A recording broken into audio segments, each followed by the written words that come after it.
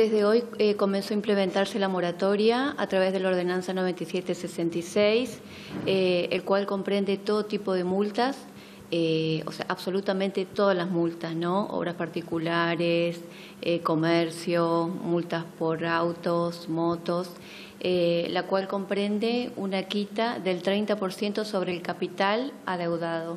Así que todos los ciudadanos pueden acercarse aquí al juzgado de faltas todos los días eh, y les recordamos que bueno, la quita es sumamente importante.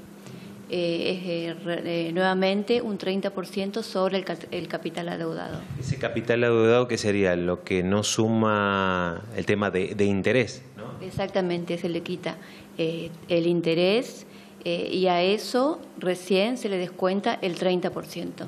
Eh, vemos cómo se le soluciona también para toda la cantidad de motos o, de vehículos que están retenidos hace mucho tiempo en los depósitos municipales, como también en el PROMIM, eh, que puedan acercarse y regularizar la situación. ¿Ustedes entienden que se va a descomprimir un poco la situación para aquellos que le retuvieron, eh, sobre todo el tema de, del motovehículo? Sí, completamente. Creo que es una oportunidad para que se acerquen los ciudadanos y regularizar la situación. Bueno, ¿Hace mucho tiempo que no había una moratoria de este tipo?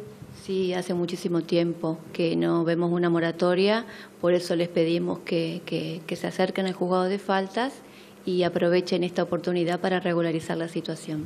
También se le da la posibilidad de hacer un, este, cuotas, digamos, este, pagos eh, en diferente cantidad de meses. Hay una opción de hacer pagos hasta 10 cuotas. Eh, bueno, eh, esta opción tiene un pequeño incremento del 2,5 mensual de interés eh, pero, pero también podemos ver la forma de, ayudar al contribuyente. Bueno, muy bien, que acerquen entonces puntualmente aquí a la oficina que está en, calle Alem, digamos, ¿no? que está el, juego de falta. Alem 826 de 7.30 a 11.30 es el horario de atención al público.